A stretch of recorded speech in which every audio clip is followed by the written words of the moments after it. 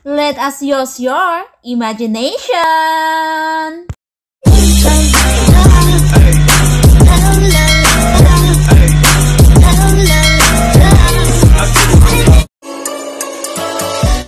Hi guys! Happy New Year and welcome to my vlog! This is Jello, your millennial mom, ang inyong pasosyal na kumare. And this is my first vlog for the year 2022. At sana samahan niyo ako kasama ang inyong mga forever sa paglalakbay ko sa mundo ng YouTube. At ngayon ay dadalhin ko kayo sa isa sa mga art gallery here in Singapore. At tara, pasukin natin to. So, nandito na tayo sa loob, mga kumare. So, ayan, nakikita nyo ang iba't ibang imahe ng mga cartoons, character at saka mga anime. So, ang kilala ko lang dyan talaga, si Pokemon, na napok ka na ba ni Mon? At si Jerry and Tom. Hi, Thomas! I love you, mahal! Mwah! O, diba? Ang cute nila. Grabe. Gusto ko silang iuwi. Kaso lang, hindi kaya ng, ng bulsa ko yan. So, nandito tayo. Dito naman, parang mga robot, robot, robot dito. So, ayan, sa mga mahilig sa mga robot collection, pwede kayong pumunta dito. Ang unique kasi parang ngayon ko nakita yung mga mukha ng mga robot na to. At saka nakita yung mga nakasabit na robot dyan. Uh, made of paper yan. Ang ganda. So, ang ganda din ng mga price. At pero, sa lahat, ito talaga ang pinaka gusto ko. Ito, kasi napaka-unique at saka napaka-creative ng gumawa nito. Kasi this is made of part, mga paper. Diba? Ang gaganda.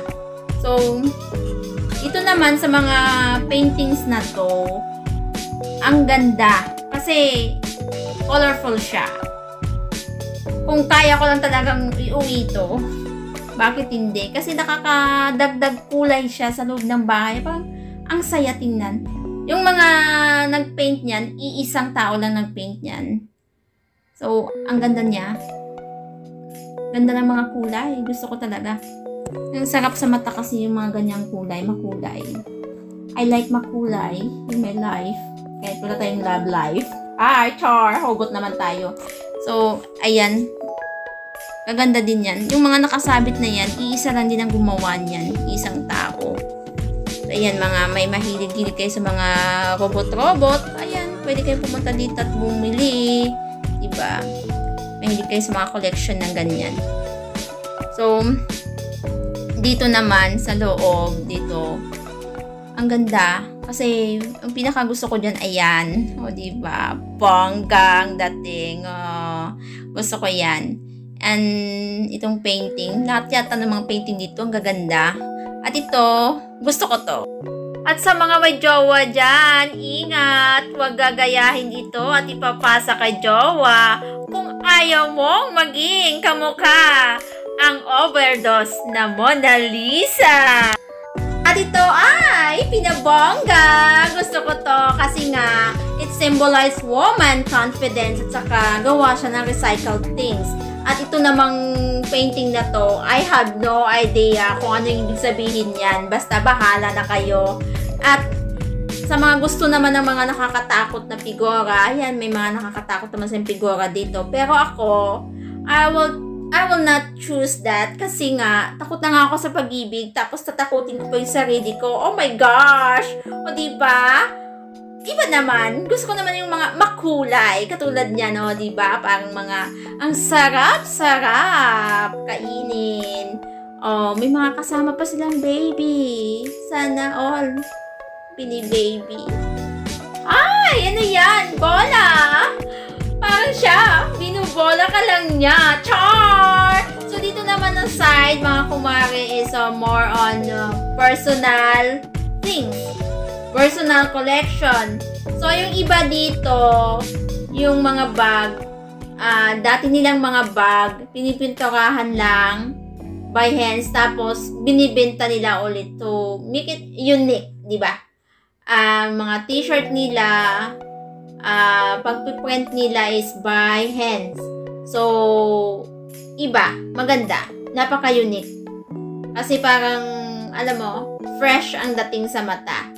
Iba yung pagpiprinta ng machine kaysa yung by kamay.